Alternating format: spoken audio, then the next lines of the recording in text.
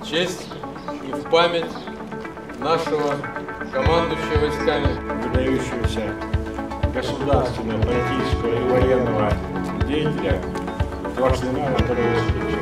который до конца своей жизни столько стоял на страже рубежей нашей Родины.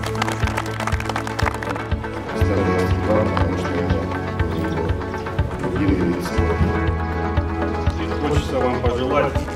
показать на этом турнире высокие результаты.